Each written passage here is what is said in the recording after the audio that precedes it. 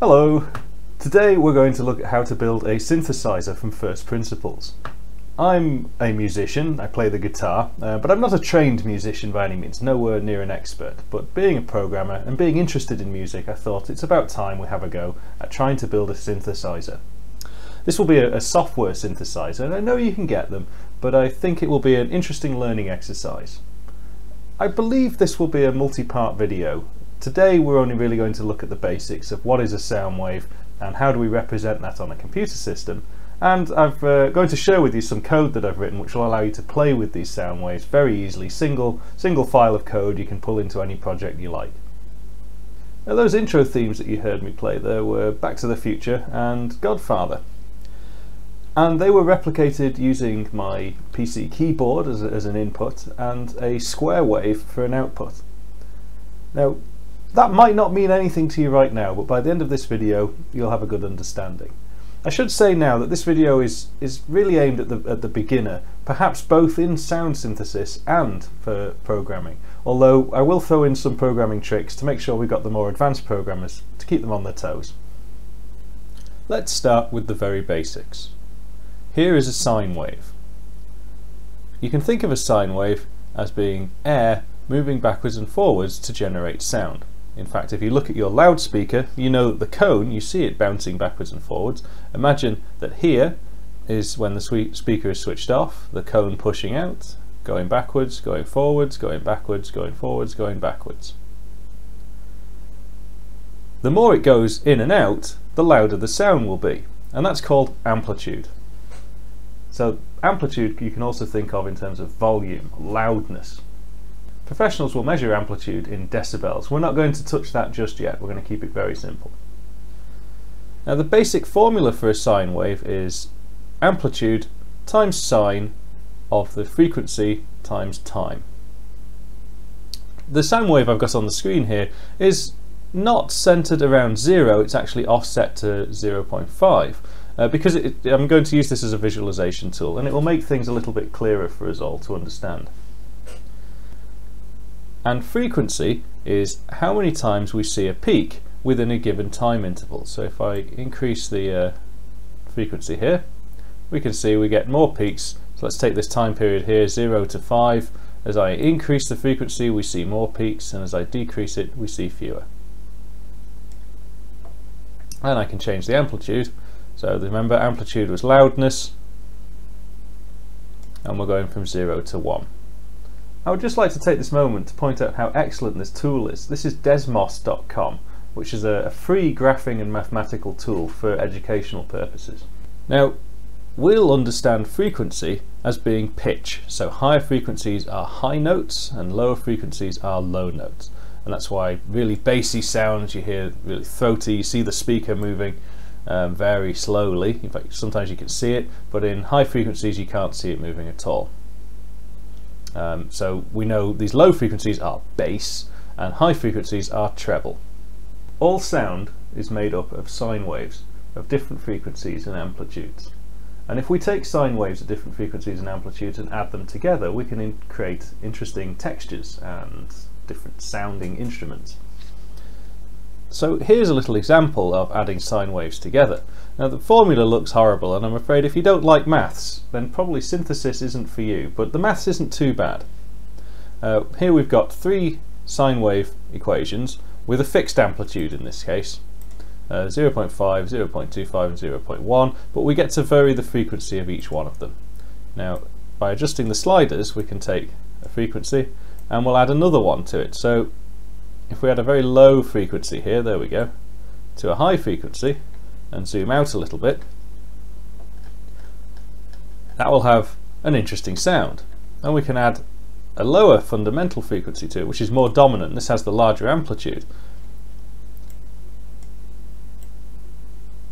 And just by manipulating sine waves in this way, we can create all sounds. This project is really about coding a synthesizer. I will be sticking to the Microsoft Windows platform. That's because I've already written some code which interfaces with the sound hardware, and that's available to download below or from the onelonecoder.com website. To keep it simple, I'm going to create a Win32 console application. I'm going to call it Sound Synthesizer. And I, I want it to be an empty project because it generates lots of stuff I'm not going to use, and we'll keep it as a console project. So we're not going to bother with Windows GUIs or, or controls. Everything will be handled just at the command prompt. And this is a nice way and to make it easy for people to learn. I like console programs because they're limited in their access and their abilities to display information. This focuses you to think really about what you're doing. Creating an empty project, so we'll create a source file, C++, and I'm going to call that one main. All of the code I'm going to include for download and in this video is written to be accessible. It's not written to be the most optimal or intelligent way to solve the problem. I'm learning about how to do synthesis as I'm producing this video and I'm hoping that through learning myself, other people might try and avoid some problems that I encounter. So let's begin at the very beginning. We want some basic uh, console activity. Now I will be using the standard library quite a bit. So I'm going to throw that in there just to keep my code simple. And we want an int main for our program start and a return to zero. Now I mentioned before, we're going to be cheating a little bit. I've already written a file which will access the sound hardware for us. And you just have to take my word for it that this file does nothing other than present data to the sound card. The source code is available, please have a look. And we're using this as a starting point. I think in a future video I'll explain how this file works, uh, but right now I think let's get stuck into actually generating some noise. I've already created a file which will talk to the hardware for us. Let's add that to the project. We add the existing item and it's called the one lone coder noisemaker.h. And we'll have a look at that very briefly. Um, but really all it is doing is accessing the sound hardware, creating a thread in the background, and presenting us with a hook to apply data to the sound card. I will explain all of that in detail in a future video. Right, I've created a, sh a short program here which lists all of the sound hardware available on the computer and creates an instance of a class called OLC Noisemaker uh, called Sound. It's using the first device that it finds, which is usually your system's default sound device. I'm also going to now include some additional numbers and we'll have a look at what these mean. So I want the sample rate to be 44,100. I want the number of channels to be 1. And I'm going to put in two magic mystery numbers for now into the end here. You'll see, see there actually are default numbers provided by this class, so feel free to use it without making these modifications. So why is Noisemaker uh, using a short here in angle brackets, and what is the sample rate and what does it mean? Well, let's have a look back at our Desmos powered graph. Take the original waveform off there and bring back our existing waveform we, we need to represent this waveform as smoothly as possible. And a computer can't do that. A computer will only be able to store numbers digitally to a fixed amount of precision. And we can emulate this by applying uh, a second function here. Now, I won't go into what this function is doing just yet, but it's a nice way of visualizing what happens as we, as we apply more bits to represent the numbers that represent the sine wave.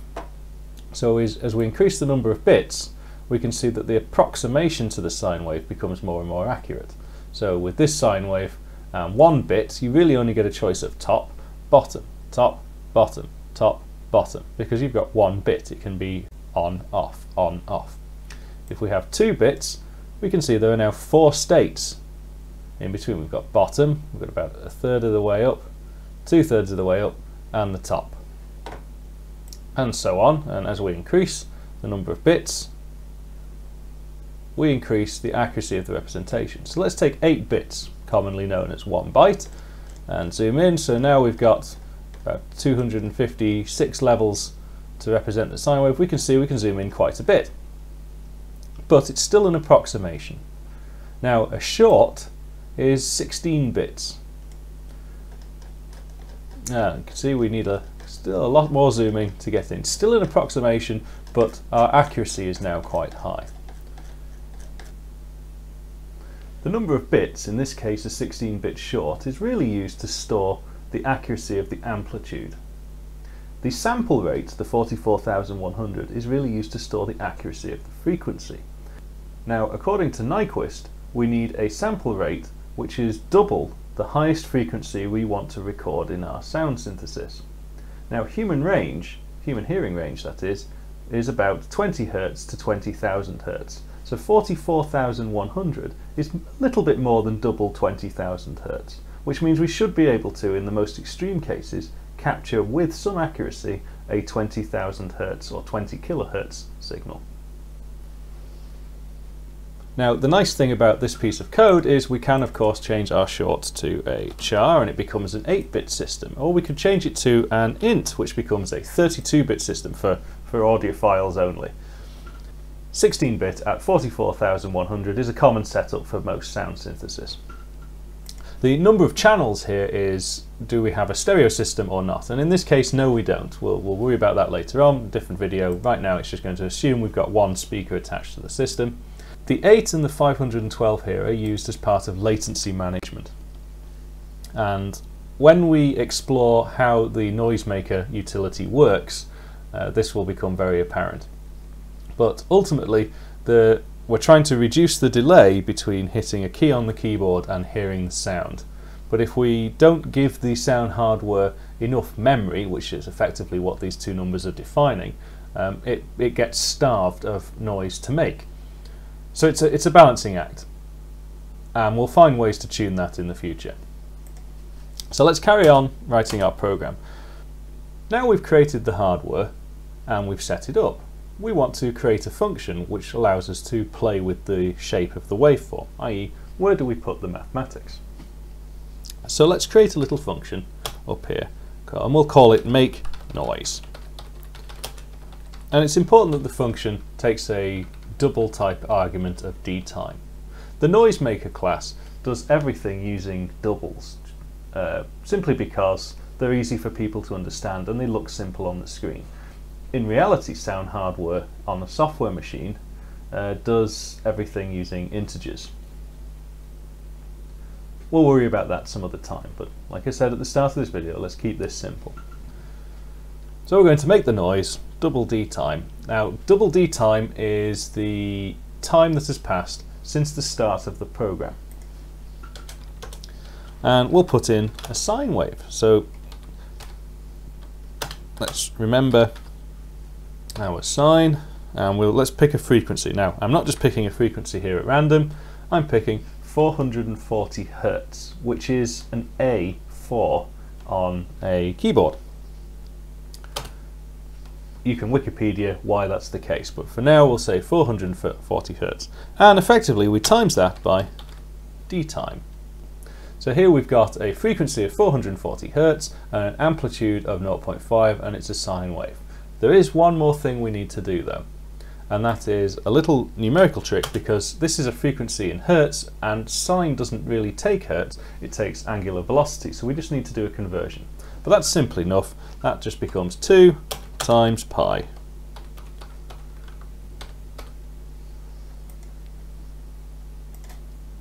And we return all of that, put a semicolon at the end, we return all of that as at that give, at the given point of time that is supplied to us, what should our sine wave look like? Now we need to link that function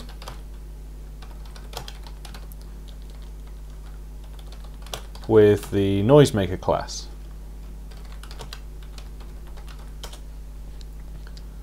So this is a, simply a case of using a function pointer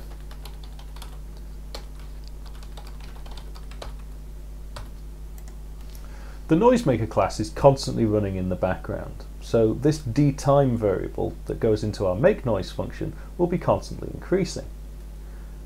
It's up to us what maths we do, but we need to return a value between 0 and 1 to represent where the speaker cone should be. If you remember going back before, it's the amplitude of where our speaker should be relative to the time. And we've just created a simple sine wave function here. We should be able to listen to it, and it should be the note A. To make sure that the program doesn't just stop straight away, I'm going to throw in a little dirty while loop here just to keep it running. We're still at the debugging and learning stage, so uh, you know, calm down. Um, but there's one more thing we need to add, and that is to our project properties, we need to include the winmm.lib library. And that's because the noisemaker class in the background uses functions from that library. Let's try compiling. We've succeeded, and do we get a noise? And there we go. That's a sine wave playing in the background. Sorry if it's just bust your speakers. So we'll stop there. Now we can make some changes to the nature of the mathematics and listen to the differences. So let's start by doubling the frequency. So we'll take our 440 and change it to 880. It's higher pitched. Let's take that the other way to uh, 220. It's lower pitched. So changing the frequency element changes the pitch. Sine waves are nice, but they sound a bit mellow, and uh, I think they're a little bit dull. Instead of sine, we can use other functions. But they need to be periodic. Commonly used are the square and triangle wave functions. So let's have a, a look at how we can generate a square and a triangle wave. The easiest way to generate a square wave is to threshold a sine wave around its middle. So in this case, when we go over 0.5, we want to set the value to 1, and when we go below 0.5, we want to set the value to 0. Now we can see what this looks like. So in this case, we can see as soon as the sine wave crosses 0.5 here in amplitude, it actually goes up to a full 1. And when it goes below 0.5, it goes back down to the 0. And it will do this irrespective of the frequency. So as we increase the frequency, we see that the square wave bunches up, and as we decrease the frequency, it spaces back out. Let's modify our make noise function to turn our sine wave into a square wave.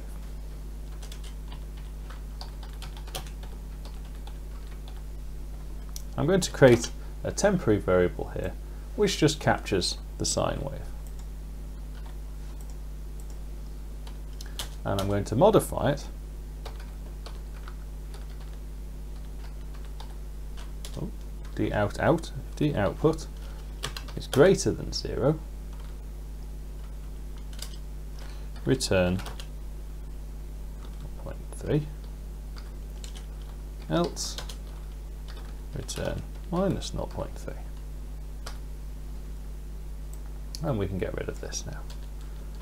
So this will take our sine wave function here, which I should get rid of this 0.3 now. So we have a full amplitude sine wave, and because we can only have either plus or a minus in a square wave, we set the amplitude explicitly. So let's have a listen. Now that was much louder so I'm going to reduce that and we'll uh, probably discuss the power of a signal later on. There we go, that's better. And that's really cool because it sounds sort of retro-y, chip-tuney, 8-bit sound. And it's not surprising because the older games consoles and machines only had limited sound functionality such as toggling a pin up and down.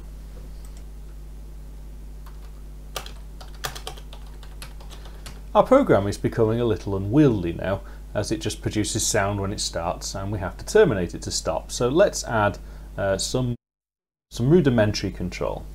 So I want it so when I press the A key we hear the note and when I release the A key we don't hear the note. And I'm going to do this using a Windows function get async key state which allows us to see what the state of any key is on the keyboard. And in this case I know that the A key can be represented using the character A. And basically I'm testing it to see is the highest bit of that key there. If it is, then the key is pressed, and if it isn't, then the key is released. So if the key is pressed, we want to specify uh, a frequency to be played. So let's throw, up here a variable. So we'll have a, a double, double D frequency, spell that right, frequency output equals zero. And we're going to use u as our frequency. So this is now a global variable. Now we need to be careful because frequency output is modified by this thread in the while loop. But the noisemaker runs a thread of its own in the background, which calls the make noise function. So just in case, we're going to make this atomic. If the key is pressed, we want our frequency output to be 440 Hertz. Else, if it's not pressed, we'll set the frequency output to be 0 Hertz.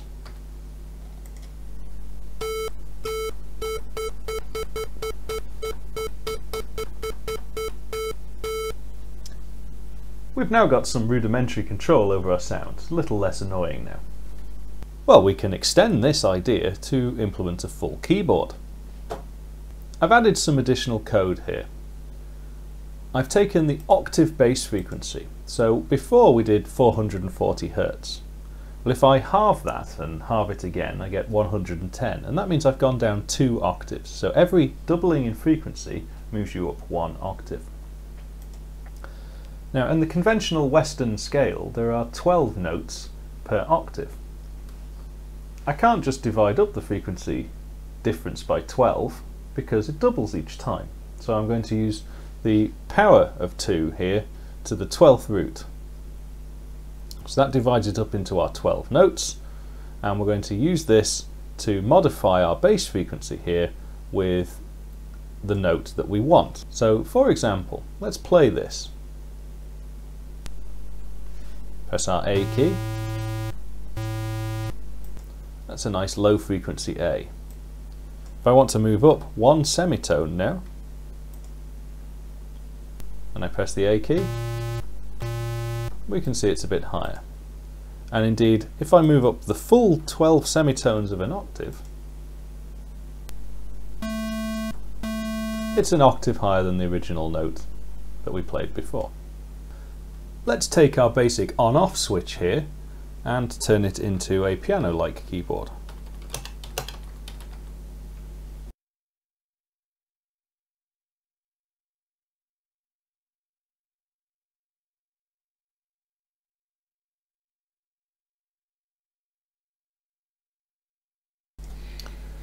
Right, I'm going to leave this little bit of magic here for uh, as a bit of a mental exercise for you but it's not that difficult to work out what's going on.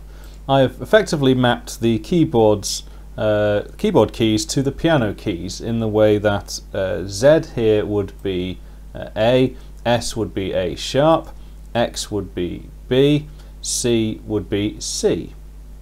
F would be C sharp, V would be uh, D, uh, G would be D sharp, B would be E, N would be F, J would be J sharp, uh, J, J, J would be J sharp. Oh, neck. Anyway, what I'm trying to get to is it's, it actually models out the white and black keys on a piano. And we've got these uh, crazy characters in here. They're for the comma and the full stop keys to keep it going. And it basically tests each of these keys uh, one by one and creates the frequency to output. If no keys are pressed at all, then our frequency output becomes zero. So let's give that a whirl. So I'm going to press the lower A, sorry, the press middle C effectively. So C, uh, C sharp, D, D sharp, E,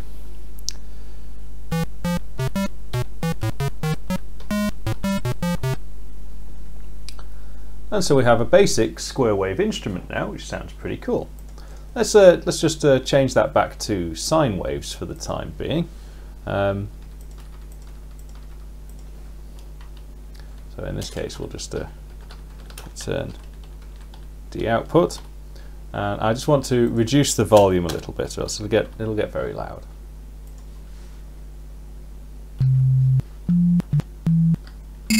Ooh ooh, ooh, it's a bit scratchy. So we can hear that the, the timbre of the instruments has changed. It's, it's not a square wave anymore. Um, but we get lots of little pops and clicks and scratches. And if we hold down two keys, woof, yeah, that's really bad. So what's, what's really happening here? Let's quickly sketch up an axis and see what it means for our sine wave. Uh, so let me uh, get in the right place. So let's plot here. We've got our uh, our amplitude and time. And if we choose a different colour for our sine wave, as our sine wave starts and it becomes a sine wave for a little bit, and then we switch it off. Well, instead of carrying on being a nice sine wave, what we've actually got is a vertical stop. Well, if we remember at the start of the video, the up and down movement of the sine wave is reflected by the in and out movement of the speaker cone. And we're asking the speaker cone to effectively, in one time period, be in two places at once. It can't do that. So it has to violently react, and that is what the click and the pop is that we hear. Likewise, our function could be at any point in time. So we might unfortunately start our sine wave down here and carry on. And the same situation applies, whereas we should have had a nice sine wave gradient so the speaker can accommodate that and produce the frequency. What we actually get is a very harsh crack and a pop. And this is actually a very high frequency. Um, but because it's so high and so violent, the speaker cone can behave in unusual ways. So you'll get different sounds. Now, you might be asking, why did we not hear that with our square wave? Why did we not hear clicks and pops? Well, that's because the square wave is, believe it or not, square. In fact, it relies on being nothing but a collection of clicks and pops. That's also why we had different volume issues with the square wave too. We're almost finished now, but before we finish this part of the video series, let's, uh, let's play with the sound one more time. We're going to make it sound like a chord. To make a chord, we simply add sine waves. So I'm going to take this function and add another. But I'm going to change the frequency slightly. I'm going to cheat, and for every base frequency that we get, I'm also going to offset it by another 20 hertz. And I want to make sure that our amplitude is applied to everything. There we go. What does that sound like?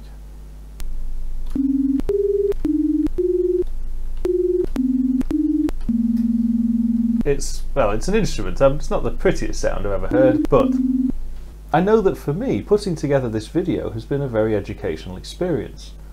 I've had to learn about sine waves, I've had to learn about synthesis, and I hope to improve my virtual synthesis instrument further, and we'll see that over the coming videos.